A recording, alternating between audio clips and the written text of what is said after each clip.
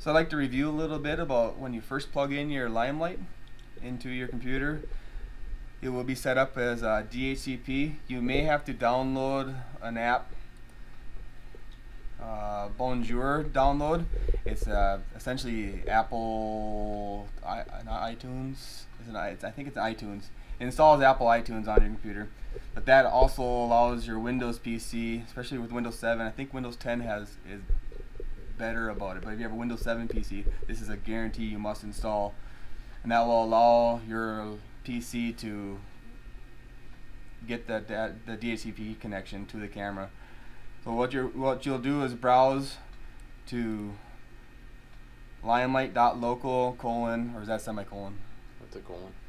Limelight.local colon 5801. That's when you'll that's where you'll get onto the Limelight dashboard one of the first suggested uh, changes is to browse over here to the settings tab. Change your team number to whatever that may be for network tables connections and also come down here to set your IP to static. Change your IP to the first convention of 10 dot first digit of the team number second digit team number dot 11 is a very common for your first IP cameras Next tab is the subnet mask. We, depending on your network, it's suggested to be on 255, 255, 255.0, as well as enter your default gateway. This is a must. On the next step, if you don't change enter your gateway, the IP will not stick, which is typically dot one. Click change IP. I don't believe our team number is already set on this, so the team number was changed. And it gave us the warning that we must power cycle our camera to take effect. Status indicators on the top here. Now that we set uh, static IP, the amber light is solid, letting us know that the static IP did take. DHCP that will have a slow flash, flash. As well as we now, as we talked earlier before, the green LED, when it's looking for targets, it'll have a slow blink. And even when I put my hand in front of here, it starts to get faked out and thinks it sees, sees a target. And that's when to some status. To change the step back to def if for some reason we get a new camera and uh, we don't know what the IP is in there and we can't connect, connect it to it, one of the best things to do is to power off your camera. As it powers up, hold down the reset button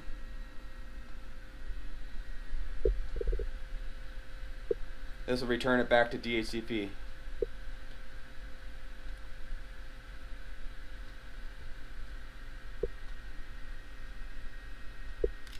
Let go. When you first plug in your camera, the camera like I was talking about before will be set up as a DHCP, getting the IP address from the network switch or self-assigned from Bonjour.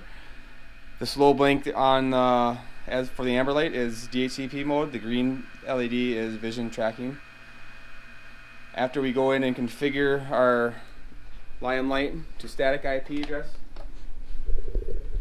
by browsing to our Limelight dashboard, clicking on the settings tab. Alright, camera has been, is set to DHP. We browse over to our settings tab where we can change our team number, click the change button, a power cycle will be required. Come down to static, enter in your at first using the first uh, numbering convention of 10 dot team 32 in our case dot 44 dot and then picking a camera which in first is usually the first IP cameras 11 is normally suggested. Come down and set your network mask. In this situation a 255.255.255.0 is sufficient. And also enter the gateway 10 dot again 32 dot 44 dot 1 is the default gateway if you not change the default gateway the next power cycle that's required here after changing IP it says it, it won't stick. The default gateway is necessary. So we'll come over here power cycle our limelight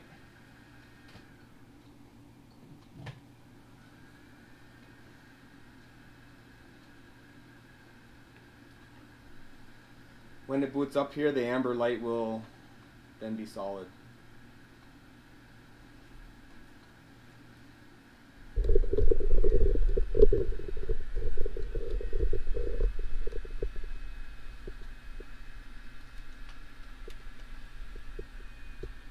So then we're like now a static IP address sign.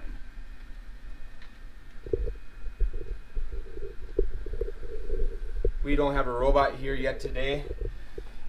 So we have this simulated target that we quickly put together. First thing we'll look at is uh, our first tab here for input. Here's if we our camera's mounted upside down, we can change the orientation from normal to upside down. We can also, if we want to shut the LEDs off, shut those off so they're not quite as bright and irritating. If we're going to just primarily use our robot for uh, drive mode, turning the exposure up will allow us to be use this camera as a more of a drive camera. In first though, a low exposure rate to filter out as much light as possible is desired. Turn the LEDs back on. As default here to start off with, orientation normal or flipped are the only options you will need to change. Next step will be go to thresholding. As the default, these will all be relatively high we can come over here and start adjusting our sliders if you're familiar with grip just like grip would have adjusting the HS and V values they've given us this great tool here with an eyedropper come over here and select the green bright colors returning back to us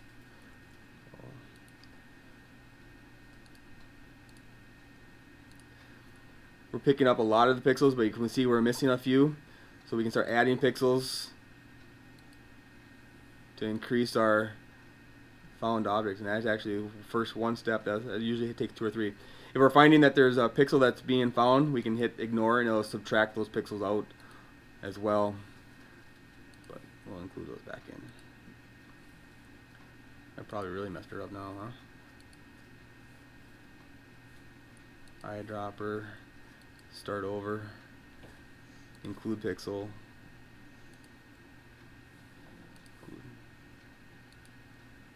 There, we're back to normal. You can see though in all of our vision targets this year, there's two. Limelight does give us uh, an option for how many targets it's looking for. Should so in this case we're looking for dual targets. There we so say I'll define two targets. If I go and cover up one target, you'll see that the bounding box disappears saying it's in my hand too, that's why my hand was reflecting It's not good enough. It must find two for it to be a valid target. You got it. Pardon? You got it. Yeah, I seen it flashing back and forth.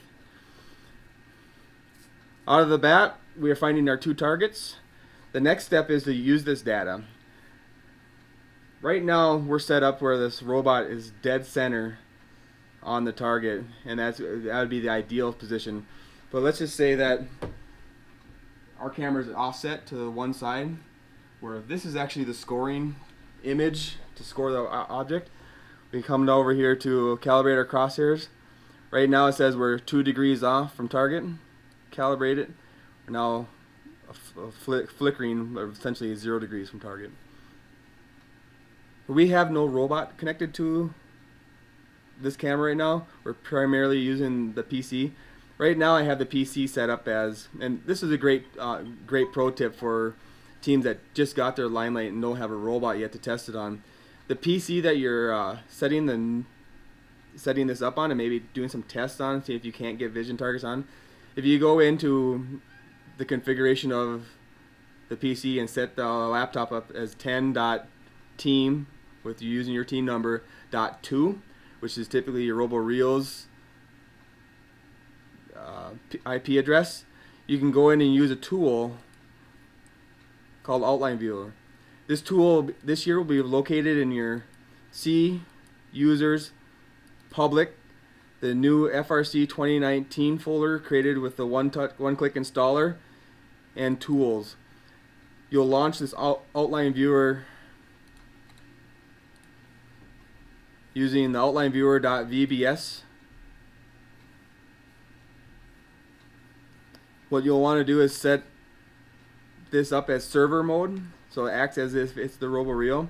With network tables, there's one server, which is the roboRIO, and all other devices are clients that connect to it and will publish data to the table that others can use. So now, if you did have a robot, you would be uh, you'd tell it where where it is, and you'd be able to look at the roboRIO's network table as the server. Here we can see that the rover or the Limelight is publishing a camera camera publisher where you can drag this object if you're using smart dashboard or shuffleboard or some of the other tools or dashboards that First and WPI has put out for us as well as this limelight tag. This limelight tag has a number of variables underneath it sending back the target skew which may be handy in this year's target where we know our targets are 14 and a half degrees slant so we can check things there TV is target found, I believe. If I take this away, TV will go zero. So TV is just a, one of those target found. Uh, TX is degrees from the calibrated crosshair horizontally. TY is degrees vertically. As well as snapshot, we can go from a program in the middle of a game, say we're just not getting quite what we want. Our code, and there's a Limelight library we wrote to make this a lot easier. Instead of writing all your own getters and setters, you can just use our library. But you can write uh, table, Limelight, snapshot, set, and set this to a 1. What that will do is take a picture of what I'm currently seeing. And then you, when you get back to the pits, you can now log into your camera go into input instead of using input source camera go to snapshots and that picture will be the last picture you take and then you can see what is the camera actually seeing and why isn't it acquiring targets maybe we need to adjust some sliders you, that could be a button on your joysticks saying eh, for the drivers to take a snapshot or it could be say we're going to start uh, vision tracking maybe the first thing we do is we want to take a snapshot of what we're going to start acquiring every time so every time we say track target, auto score it. We can come back to the pits and say, what did it really see? Very handy network table entry. As well as the stream, we have multiple options. Do we want the USB stream, the, the camera stream, the target acquisition stream, what stream and how you want to stitch those. It's a picture in picture, so the USB on top, USB as the secondary camera view. And I'm hoping for some more options in the stream. Cam mode is a, a uh, is an important variable this year. In our in our let's what are we saying augmented uh, autonomous necessarily where we, we have a limited view or no view of the screen we may want to use our camera as a as a f was it fpv POV? First first person view? FPV, FPV driving. Is that what they do in the drones? FPV, first person view. First person flyer. I don't know. We may want the camera to not be our. We may not want our exposure turned all the way down where we where we can't see what the for a driver camera. We can go in here set this to 1 and what that does let me go back over here to camera view. It turns up our exposures so we can use it as a driving camera. And as soon as we hit click our button again to start auto acquiring a target or set that to zero exposure goes down again and now it starts acquiring targets again pipeline if we have multiple targets, uh, uh, different types of targets on the field, we can uh, tune different pipelines and say, for the airship, we want to run pipeline zero. For the cargo bay, we want to run pipeline one.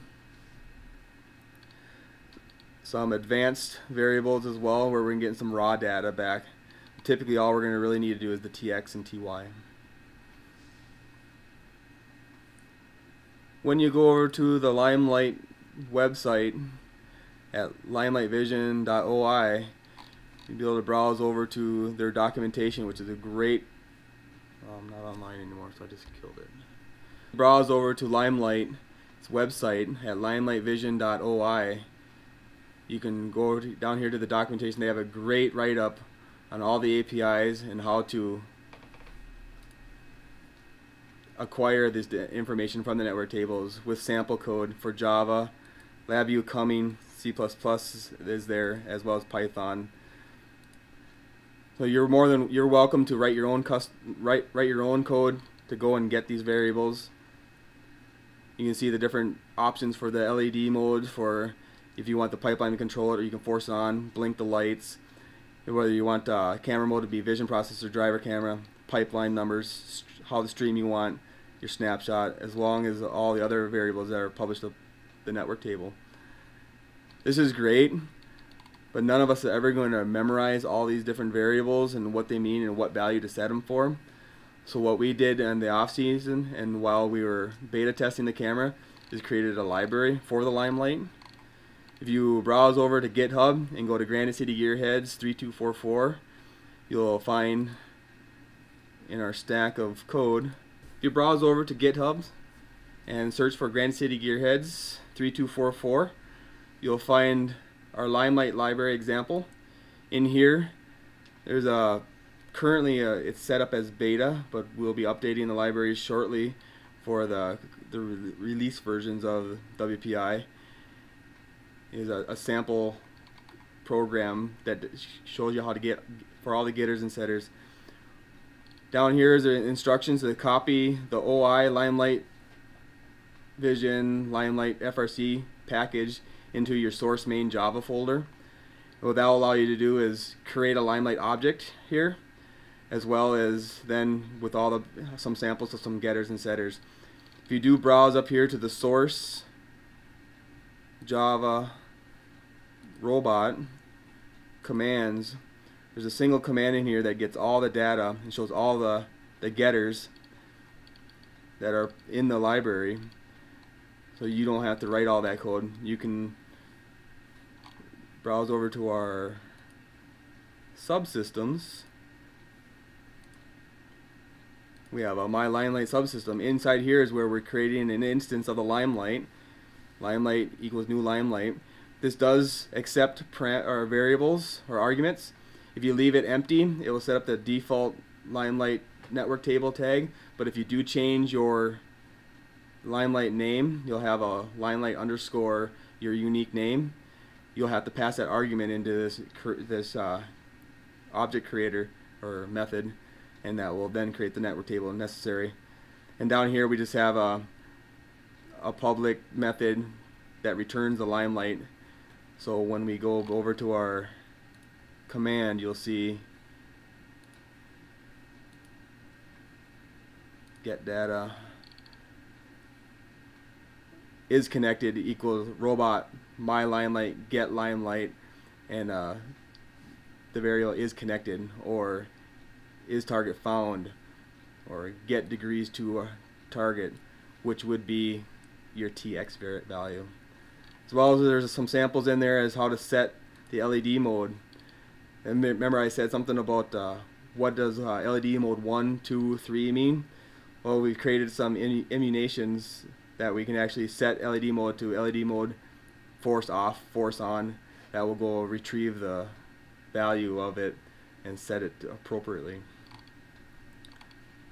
I believe that's. If you have any other questions or would like to share or uh, help with the libraries, I encourage you to fork the library and uh, send some push requests up there and help uh, develop maybe the C++ side if that's your team's strong points, as well as Python, which is becoming stronger every year in FIRST Robotics.